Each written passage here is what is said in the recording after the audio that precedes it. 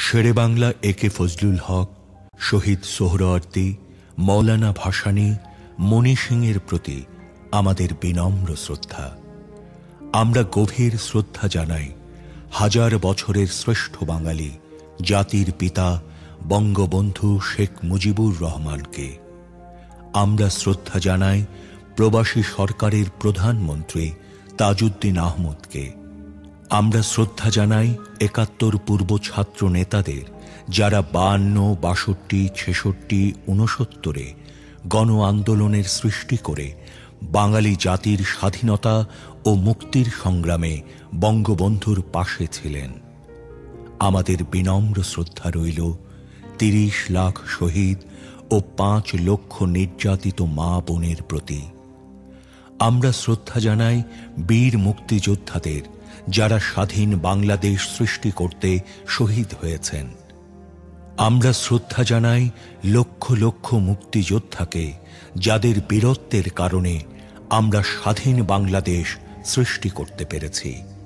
আমাদের গভীর শ্রদ্ধা রইল একাত্তর সালের সেই জনগোষ্ঠীর প্রতি, যারা সীমাহীন কষ্ট ও নির্যাতন ভোগ করে মুক্তিযুদ্ধের প্রতি অনুগত থেকে মুক্তিযোদ্ধাদের সর্বাত্মক সহযোগিতা দিয়ে স্বাধীন বাংলাদেশ সৃষ্টিতে ভূমিকা রেখেছেন। এদের সবার কাছে আমরা ঋণী। হাজার বছরের শ্রেষ্ঠ বাঙালি, জাতির জনক, বঙ্গবন্ধু শেখ মুজিবুর রহমানের কাঙ্ক্ষিত বাঙালি জাতীয়তাবাদী চেতনার বিকাশ, শোষিতের গণতন্ত্র, শোষণমুক্ত, বৈষম্যহীন সমাজ, মানবিক মূল্যবোধ, সামাজিক ন্যায় বিচার সামাজিক, অর্থনৈতিক, রাজনৈতিক সাম্য প্রতিষ্ঠা করে জনগণকে ক্ষমতার প্রকৃত মালিক করে আমরা এদের ঋণ শোধ করতে পারি। আসুন, আমরা আমাদের পূর্বসূরীদের ত্যাগকে স্মরণ করে তাদের নির্দেশিত পথে দেশকে এগিয়ে নিই। জয় বাংলা। মোহাম্মদ মাজদার রহমান। মোহাম্মদ আব্দুর রশিদ। এটার অবস্থানটা? আচ্ছা এটার অবস্থান হচ্ছে নর্থ বেঙ্গল সুগার মিলের। এটা হচ্ছে শহীদ সাগর হিসাবে এটা হওয়ার কারণের পিছনে কারণ হচ্ছে কি যখন একাত্তর সালে যুদ্ধ ঘোষণা করে তখন এই মিলের ম্যানেজার ছিল ক্যাপ্টেন আনোয়ারুল আজিম। তো তখন এই মিলের বোলডোজার ছিল এই বোলডোজার দিয়ে তখন ওই ঈশ্বরদী এয়ারপোর্ট আমরা ইয়ে করে দিই। মানে এটাকে নষ্ট করে দেওয়া হয় বিমান নামতে না পারার কারণে। এই একটা খুব তারপরে ময়নাতে যে ইয়ে ক্যাপ্টেন রাজা খানকে, মেজর রাজা খানকে ধরা হয়েছিল।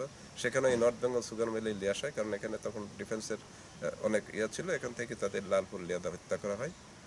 তারপরে এই ইদুয়া নামে একটা বিহারি ছিল। এই ইদুয়া বিহারি তখন, যখন পাঁচই মে, তখন ঈশ্বরদী থেকে পাক হানাদের বাহিনীরা বাই রোড ট্রেনে আসি। তারা প্রথমে বাজারে, তারপরে একটা গ্রুপ আসে বাই রোড হ্যাঁ লালপুর থেকে। ওরা এসে লালপুরে কিছু মারে। আসার পরে গোটা মিল তারা গেট লক করে দেয়, দিয়ে ফ্যাক্টরির ভিতরে ঢুকে। ঢোকার পরে তখন সমস্ত শ্রমিক কর্মচারী অফিসার যারা ছিল তাদেরকে মিল রানিং অবস্থায় রানিং অবস্থায় থাকার কারণে তারা ফ্যাক্টরির ভিতর দিয়ে এদিক ওদিক দিয়ে অনেকেই পালায় যেতে পারেছে। কিন্তু কিছু যখন যাদের ধরেছে, এই যে চল্লিশ বিয়ার জন্য লোক, এদেরকে সব নিয়ে আসছে এখানে, এই শহীদ সাগরে। নিয়ে আসার পরে যখন এখানকার ম্যানেজার ছিল ক্যাপ্টেন আনোয়ারুল আজিম, উনি বললেন যে, দেখেন, আমার এই কোনো লোক অপরাধ করে না যদি অপরাধ আমার হয়ে থাকে, তাহলে আমি কাজেই যদি গুলি করতে হয় তাহলে আমাকেই করেন। এই কথার পরিপ্রেক্ষিতে ওনারা না শুনে একদম সবাইকে ব্রাশ ফায়ার করে এখানে মারিয়ে দেয়। কয়জন? আর প্রায় বিয়াল্লিশ জনের মতো। তার মধ্যে একজন জীবিত হেদে লাশের নিচে পড়েছিল। ওই ও মৃত্যুর ভান করেছিল। পরে আবার ব্যানট সার্চ করে করে ইয়া করছে। দেখা ও নিচে পড়ে থাকার কারণে ও বাঁচিয়ে গেছিল। সেও মারা গেছে এখন বর্তমানে। ওনার নাম কি? ওনার নাম হচ্ছে জালালউদ্দিন যিনি বেঁচে ছিলেন। যিনি বেঁচে ছিলেন উনি তো মারা গেছে পরে। আচ্ছা। এই হচ্ছে এখানকার প্রকৃত যেটা ঘটনা সংক্ষেপে আর কি। আর এই কারণে যেহেতু এই নর্থ বেঙ্গল সুগার মিল থেকে পাক হানাদার বাহিনীর উপরে আক্রমণটা করা হয়েছিল প্রথমে ময়নাতে। কারণ এখানে যে আর্মস ছিল এবং যারা ইপিআর বিডিআর এখানে তারা শেল্টার নিয়েছিল এবং এখান থেকে তারা এবং মিলের এয়ারপোর্টটাও এখান থেকে করা হয়েছিল। এই ইদুয়া বিহারি তখন এই সুগার মিলে সে চাকরি করতো। এই চাকরি করা অবস্থায় তখন সে এই জিনিসগুলো সমস্ত ম্যাপ করে তাদেরকে নিয়ে আসি। তারা এই অপারেশনটা করে। করে এই পাঁচই মে অনুষ্ঠানে এখানে এই হত্যাকে যজ্ঞটা চালাই। এখন আমাদের এই আনোয়ারুল আজিমের নাম অনুসারে এই গোপালপুর স্টেশনের নাম আজিমনগর স্টেশন করা হয়েছে। শহীদ সাগর কেন? শহীদের এখানে যারা শহীদ হয়েছে তাদের ইয়ের জন্য মানে হত্যা করা হয়েছে তাদের নামকরণার্থে একটা শহীদ সাগরী দেওয়া হয়েছে।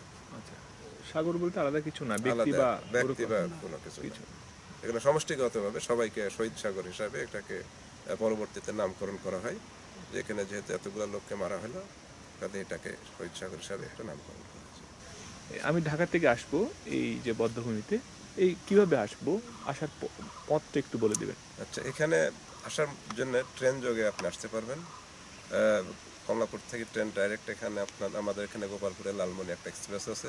তারপরে আজিমনগর আর তারপরে আপনার আব্দুলপুরে আসে আপনার রাজশাহী সিল্ক সিটি আছে বহু ট্রেন আছে আপনি আসতে পারবেন। এবারেও বাই রোডে আপনি আসতে পারবেন। বিমানে আপনি রাজশাহী পর্যন্ত এসে এখান থেকে ট্রেনে অথবা বাই রোডে আসতে পারবেন এখানে একটা পুকুর আছে আপনার নাম যদি